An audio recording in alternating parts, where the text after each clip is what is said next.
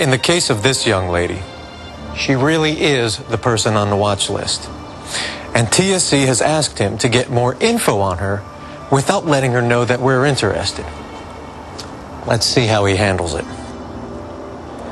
Ma'am, this is government property, and I'm afraid I'm going to have to ask you to leave. Why? I'm not hurting anything. The park manager doesn't want anyone down here, and uh, I need you to leave with me. Well, sure, officer. I didn't think this would be such a big deal just taking some photos. It's a liability thing. The bureaucrats are afraid that you'll stub your toe on the property and All right. sue.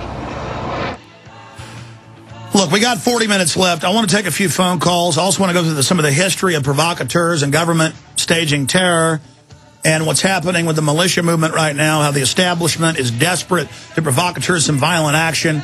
That's all coming up after this quick break. In the final 40 minutes, Infowars.com's the website.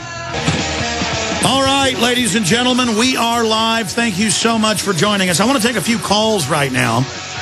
And then I'm going to get back into the history of government provocateuring. How the government doesn't just provocateur, they create and they command the white supremacists, the black supremacists, the Mecha, the La Raza, which means for our race, everything, those outside the race, nothing. The race. To get everybody fighting with each other while the big offshore banks basically rule over us and play us off against each other. But uh, we had a police officer send us some info. I don't. He gives us his name, but I don't want to give it on air. I may get him to pop in in a minute. I'm a lieutenant in a large sheriff's office in Florida. I had to show that video to all my roll calls approximately two months ago. Good job for bringing it out. Mark. And we'll see if we can get Mark on a line without using his full name just to pop in. We do have some other police officers calling in and former police officers.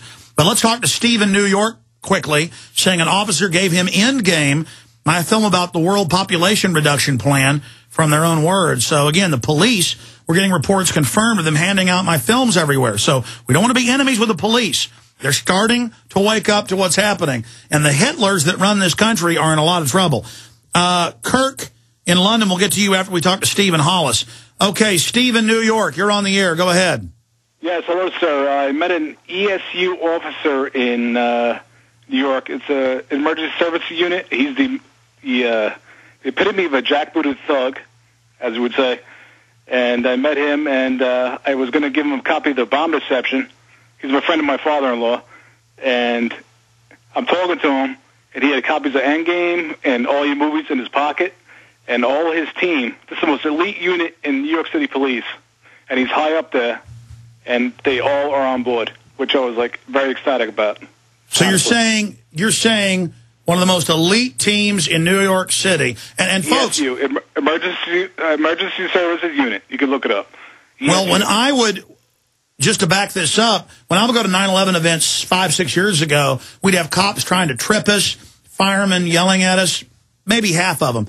The other half saying, good job, good job. Now, when I go to 9-11 events in the last two years, the cops are buying us food. They're slapping us on the back. Commanders are going, like you, Alex Jones. We've even got a few clips of this, and then they'll go, I don't want to be on camera. I mean, where the cops basically almost carrying us on their shoulders in New York because we show them all the footage of the police saying, get back, the government's going to blow up Building 7. And that's their own officers. We interview the cops that say they blow up the towers. So the other cops found out about this, and then instantly they're all waking up. So you're saying he was totally on board with the New World Order, and now he has all the films. These are, these are the guys in the black uniforms. That's what I'm saying. These are the guys in the black uniforms. The Hercules teams, the Yes, yeah. yes. The- And so, high what were power, they like, saying? snipers. What were they saying? They were saying, uh, well, I'm talking to one one individual. That's But I mean, you were saying. saying that he was saying the whole unit's He's a high-ranking officer in that unit. That's all I'm saying. But he was, at, his team is on board, and I was trying to give him. I, I tried to approach him very softly because I didn't know he, how he came out. So give him like popping the Obama Deception. He's got Endgame. He's got Road to Tyranny in his pocket. He's giving it to me. And he said, like- "Hey, buddy, I don't need that video. I got Alex Jones Yeah. videos right here." Just give me, and give me Endgame like I already saw Endgame. You know, I, I try to soften him up a little Yep. bit. You know, when I meet somebody. It's but- unbelievable. We're making history thanks to people like you out there. Uh, anything else, Steve? uh, uh, that's about it, Alex. Good to hear from you. Hollis is a former SWAT team member from Indiana. We- We're just taking random calls here, and we've got the folks calling in about this. Uh, Hollis, uh, what's your point today, sir? Uh, yes, sir. I, I just wanted to say I've, I've been listening to you for for years since 2001. I actually found out about you through David Icke, and uh, I was a former uh, SWAT team member here in Indiana, and uh, um, you guys woke me up. You woke me up to uh, I became I became conscious, and um, I was I was one of those guys that, like I heard an actress say in a movie, I would have jumped uh, speeding motorcycle over over a train for any kind of you know that kind of stuff. And um, I woke up. I, found out that um, there is a, a, a, a, a cabal in this country that has taken over our country, and uh, I have I have turned uh, several officers officers on to your, your information, and uh, they they weren't aware of what's going on in this country, and uh, it, it's uh, it's. It's, it's unbelievable. I, I'm, I'm, the, the country I grew up in, uh, that that's supposed to we're supposed to uh, look out for people's rights, and we're doing the exact opposite. We're, well, and know, people we're not, hope we're no longer uh, uh, uh, land of the free. You know, absolutely. Well, people hoped that Obama would fix that. Now they're finding out.